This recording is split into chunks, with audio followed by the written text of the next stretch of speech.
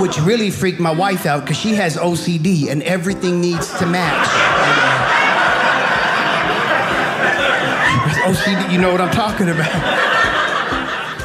The paint that we use on the highways here in Utah? Yeah, I got a great idea. How about when it's dark and it gets wet, it disappears completely? How about that?